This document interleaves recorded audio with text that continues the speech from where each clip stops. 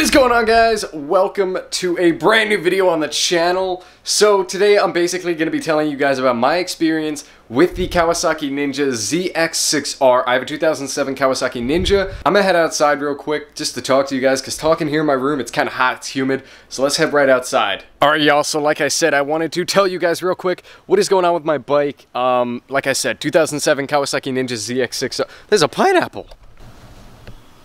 Just a random pineapple in the, the garden. It's a mess, don't worry.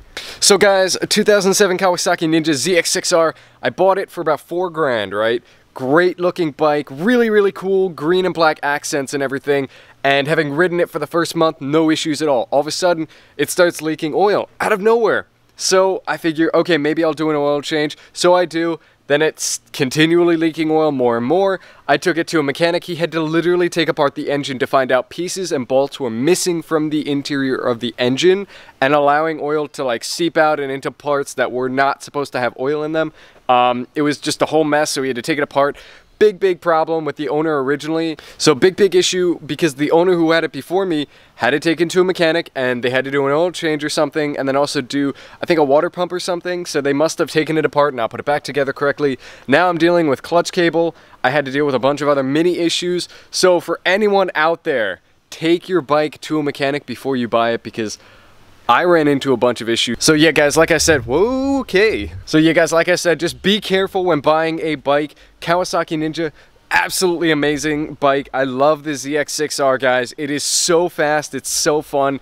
It's just out of commission right now for like a, about a week or so it's been out and I'm still waiting like another week to get my part in that I, I ordered.